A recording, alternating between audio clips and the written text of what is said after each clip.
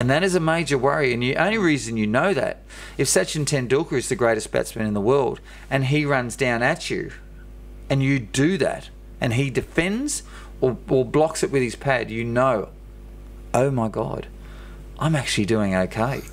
And that's what Nathan Lyon does constantly. And he owns it. And that, to me, that's why he's going to be the GOAT. And I've got no problem with it.